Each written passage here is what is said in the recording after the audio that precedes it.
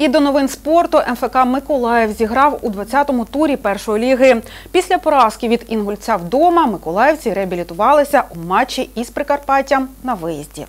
Вже на дев'ятій хвилині матчу корабели створили небезпеку біля воріт Прикарпаття. Зарічнюк подав з кутового, а Кушніренко заколотив м'яч у сітку воріт. Івано-франківці кинулися відігрувати пропущений м'яч, але жоден зі створених моментів не закінчився взяттям воріт. А от миколаївці під зав'язку першого тайму отримали шанс подвоїти рахунок. Богдан Кушніренко втік від захисників Прикарпаття і лише ціною фолу їм вдалося зупинити автора першого голу. Арбітр призначив штрафний. Радченко пробив, але голкіпер господарів м'яч потягнув.